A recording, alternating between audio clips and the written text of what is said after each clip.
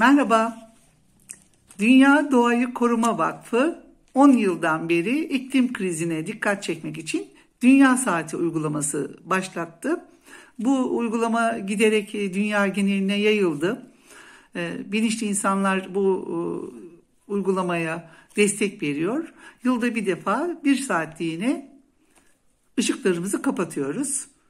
Bu yıl 19 Mart Cuma akşamı 8.30-9.30 arası ışıklarımızı kapatacağız. Sizler de destek vermek ister misiniz? Merhaba.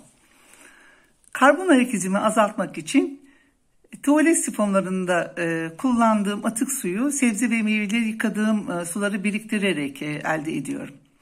E, tuvalet sifonları e, aşağı yukarı 5 metreküp su alıyor.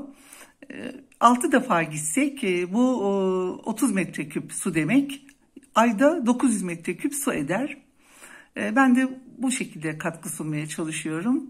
E, sizler de bir şeyler yapabilirsiniz.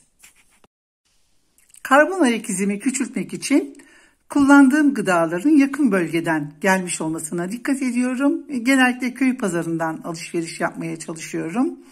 Çünkü nakliye sürecinde yüklenen e, karbon salınımı e, artıyor. E, bu da karbon ayak izimizi büyütüyor doğal olarak. Siz de bir şeyler yapabilirsiniz. Merhaba. Bizler karbon ayak izimizi küçültmek için e, küçük adımlar atıyoruz.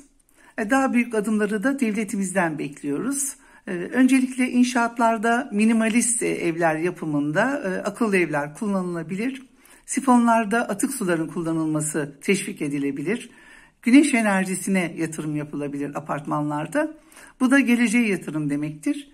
Çocuklarımıza iyi bir gelecek bırakmak demektir. Bu adımların bir an önce atılması lazım. Lütfen iklim krizini durduralım.